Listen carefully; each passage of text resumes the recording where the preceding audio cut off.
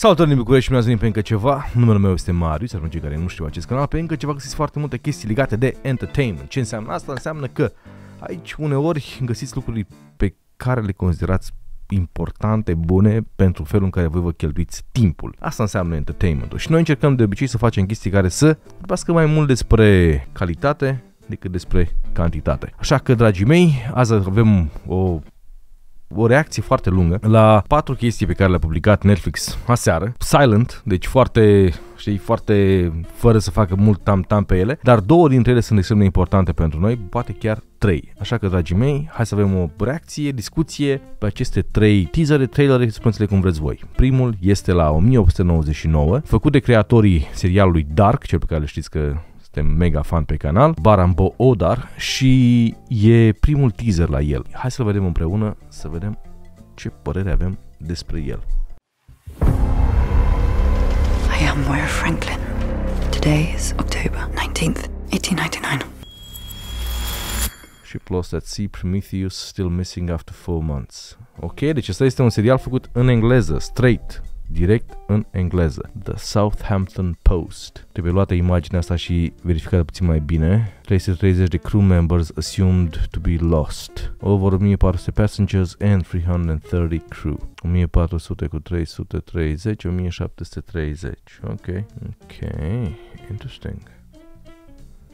Ok, și mânuțele ei erau de la aceste legături. Ok, plac foarte mult set designurile, deci după Dark, dacă vă uitați și voi aici, toată zona asta de aici de sus, evident de CGI, nu vă imaginați că chestia asta s-a construit cu adevărat, dar arată foarte, foarte, foarte, foarte bine. Și îmi place ensemble castul ăsta de personaje aici. Deci cred că main castul nostru este 1, 2, 3, 4, 5, 6, 7 and there is There is a favorite actor. Spunea producătorul seriei, spunea că lucrează cu the latest technology din punct de vedere al CGI-ului, mai ales cu live stages. Ok. Toate personajele astea până acum le-am văzut și în scena aia largă. Ok. Foarte mișto. Arată foarte, foarte, foarte bine. N-am ce să comentez pe tema asta. Îmi place și sound design-ul pentru trailer. Și îmi place și steampunkiness-ul ăsta și întrebarea este dacă vor reuși să lege într-un fel de Dark. De ce spun asta? Pentru că avem toate triunghiurile astea. Și Dark a avut triunghiul înrăcit. Cred că o să avem legătură aici. Dar arată foarte bine. Arată foarte, foarte, foarte bine. Ok, ok. And there you go. Nu dau seama ce vedem aici. Dar e clar că avem triunghiul ăsta frumos, vrem în mai multe locuri. Ce vă spuneam și la Wheel of Time, ce pare să nu înțeleagă foarte multă lume care lucrează în costume design și set design, este că they have to be lived in. Adică spațiile pe care le arăți, imaginile pe care le filmezi, hainele pe care le poartă actorii tăi, trebuie să pară că nu sunt noi. Trebuie să pară că cineva le are de ceva vreme. Au fost purtate de broken in, sunt spălăcite și nu sunt perfect călcate și așa mai departe. Și când vezi chestiile astea, când îi vezi pe ăștia îmbrăcați în felul ăsta și vezi că pleacă aici într-o misiune, așa o dau din burta asta, știi? Deci pare că o să fie un Murder on the Orient Express, scale to 500. Pare că e un uh, witch hunting story, them against us, everybody against everybody. Dar îmi place foarte mult look and feel-ul. Deci băieții ăștia, they fucking nailed it. Nu trebuie și al doilea trailer. Aparent va apărea undeva în toamnă. E o casă în flăcări și asta este Iona. Ok. Up and down și săgeata asta tăiată s-ar putea să fie going down and in a hurry. Îmi place și montajul ăsta looks fucking good. Looks fucking good. Și sper să fie, sper să fie cu o mitologie, dacă vrei, abordată în aceeași univers în care se întâmplă Dark. La modul că nu trebuie să fie neapărat bunicul lui, uh, lui Iona și mai, mai știu ce, ci mai degrabă să fie în același univers. Da? Acel univers în care există potențial acelor găuri negre, să fie tot acolo și ăsta. Would be fucking cool Just saying, just saying. Bun, trecem acum la următorul, la următoarea producție, despre care cred că sunt la fel de stoc și despre care, sincer, nu vreau să-mi plac. Am mai spus, am mai vorbit de el câteva ori până acum în uh, podcast. E vorba de Neil Gaiman's Sandman. Sandman este o producție extraordinar de faină făcută de Neil Gaiman. O găsiți și la editura grafic la noi în România, și că nici nu scumpă 35 de lei. Și este probabil unul dintre cele mai apreciate volume de la DC. Și e scris de Gaiman, care nu mai nu neapărat colaborează cu DC-ul la nivelul ăla, dar Gaiman este cel care a scris și American American Gods și North Story și mai multe chestii, dar foarte multă lume îl știe pentru acest graphic novel numit The Sandman. Hai să vedem puțin cum arată. estetica asta pe care credeam că nu o să o apreciez deloc e de fapt straight from the fucking comic book. Arată bine, rău de tot. Asta nu prea arată bine aici, CGI-ul ăsta nu prea e on point. Asta cred că nu e uh, zâna din Pinocchio, cred că ea e. Foarte bine și foarte mult din comic, foarte bun din comic mă așteptam ca estetic, estetica comic book-ului nu e pe placul tuturor, nici, nici eu nu sunt un hyper fan al esteticii comic book-ului și de-aia mi-era frică puțin de producția asta, să nu devină un cowboy bebop. Sincer, aveam frica asta foarte mare, dar uitându-mă acum la el, uitându-mă la cum au hotărât să portretizeze toate chestiile astea, îmi place, îmi place, îmi place, îmi place. Îmi place mult de tot și e deja pe 5 august, adică coming very, very, very soon. Dar îmi place foarte mult că au ales, adică green screen arată bine, să nu vă imaginați că aici e filmat outdoor. Ăsta e green screen, da? Și flare-urile astea așa de J.J. Abrams, dar se potrivesc destul de bine cu lumea. Foarte mișto. Arată chiar foarte bine. Foarte bine, surprinzător de bine. Știu că unii dintre voi pe canal, mai ales rare, și se întreba dacă uh, o să-mi placă, dar îmi place. Îmi place ce văd. CGI-ul, scena asta, de exemplu, e on point. Nu e, adică e mai bun decât până acum în producțiile Netflix. Se vede că nu este low budget și îmi place că matching colors, matching lights, Asta e foarte important pentru că felul în care se adaptează culorile e cel mai important lucru. El ca și actor uh, nu mă convine. Are câte... Sunt câteva scene în care nu îmi place neapărat, dar sunt suficient de multe scene care îmi plac încât să mă facă să spun da, o să mă uit la asta. Faptul că din trailer nu încearcă să ne mai vândă bullshit-uri și alte chestii, I like it, I like it. Sunt surprins de cât de mult îmi place chiar. Aș spune că sunt surprins de cât de mult îmi place, într-adevăr.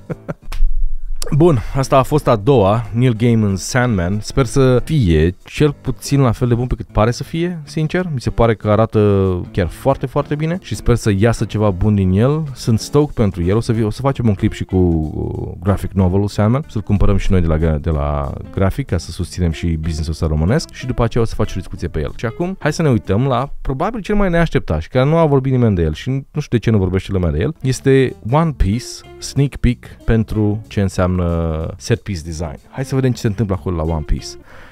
Mi se pare că se potrivește puștiu cu Luffy.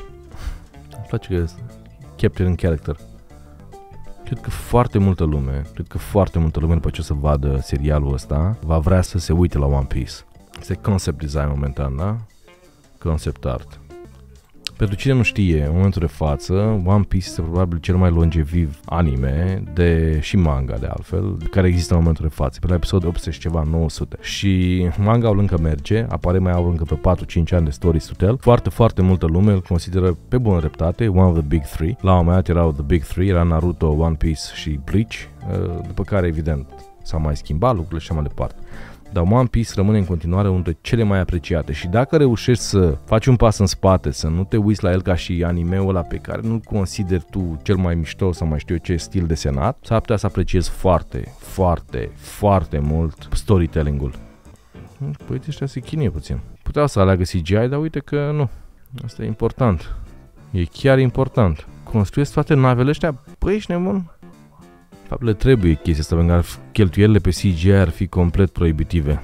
Arată bine tot arată bine și cred că o să aibă cheltuieli masive pe partea asta. Iar dacă ce e important pentru fanii One Piece este că dacă se întâmplă chestia asta în felul ăsta și cheltuie toți banii și pentru set design și mai departe, înseamnă că oamenii nu o să, adică sunt slabe șansele să fie ca un ca la Cowboy Bebop, adică one and done. De obicei când faci așa ceva, când te bagi în așa ceva, înseamnă că ești pregătit să go the long run. Că altfel îi spui, bă, încercați cu CGI, vedeți dacă vă iese, hai, dați înainte și cu asta basta, știi? Și păcea un CGI de ăsta mai junky Excel, ca la Cowboy Bebop, dar nu pare. Pare că One Piece va fi the real deal sau va arăta cel puțin ca the real deal, ceea ce e foarte, foarte, foarte important. Adică băieții ăștia se chinuie să facă ceva mai mult decât ar trebui. Ooh, it's a fucking town here.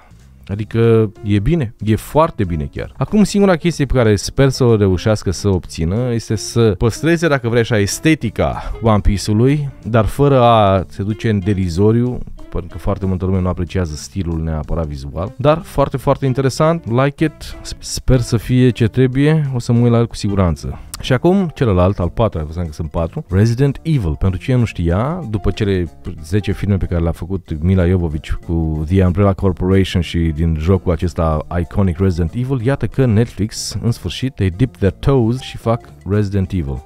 Sincer, mi-e dor de un zombie movie, a good one Nu știu dacă ăsta e. Sincer. Raccoon City. Ah, interesant, vor să facă The Story Before. Ok, arată bine. Netflix, ce ați făcut? Ce s-a întâmplat Netflix? Deodată, așa, arată ok. Și câinii. Doamne, sper să don't fuck it up. Ok. Ok, ok. I can get behind this. și cu drujba, ok. Good job. Adică e fan service as fuck, clar, dar nu-mi pare rău. E foarte bine, e foarte ok că fac treaba asta. Și faptul că gagică în rol principal, este evident să fie gagică în rol principal, bă, arată bine, arată bine de tot. like, what's happening Netflix, you're making good shit again.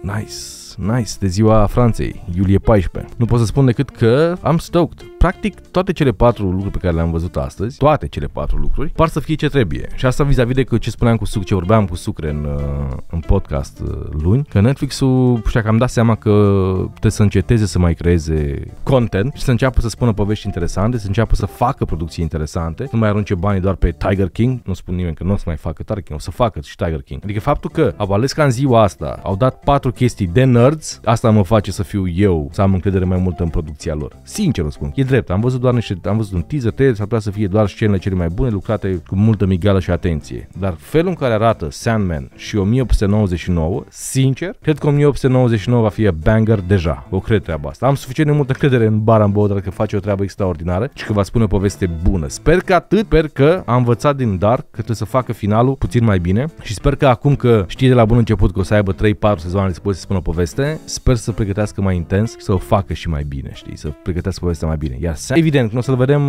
știi cum e, când îl vezi așa în snippets, în bucățele mici, se pare mai bun decât e cu adevărat, dar cred că bă, și în scena asta chiar arată, adică composition shot, tot ce înseamnă la nivel de look and feel, la cum arată și cum este alcătuită imaginea și umbră și tot ce înseamnă lumini pe personaj, e acolo e acolo, adică îmi place. Mi se pare că s-a întâmplat ceva în producție, deci unul la mână. Sunt mai mulți bani să la băgați în toate, în ambele producții, și în 1899 și în asta. Și bine, 1899 e filmat în Europa și asta e foarte important de înțeles. Băieții acolo în Germania acum dezvoltă un hub acolo, ceva puternic, ceva foarte fain. Tot ce pot să sper este că Witcher va veni în spate și va folosi tot genul de resurse să iasă un sezon 3 care cu adevărat să ne dea pe spate. Dar arată foarte bine. Vreau să spun că cinematografia e foarte șmecher ce îmi place foarte mult la Baran Bodar și Dark și așa, high contrastul ăsta. Stilul ăsta high contrast, în care negru e foarte negru și lumini foarte difuze. În, dacă vă uitați și la Sen, la Sen mai puțin, la Sen mai e suficient de multă lumină pe personaje, sunt, adică de unde e și lumina asta, că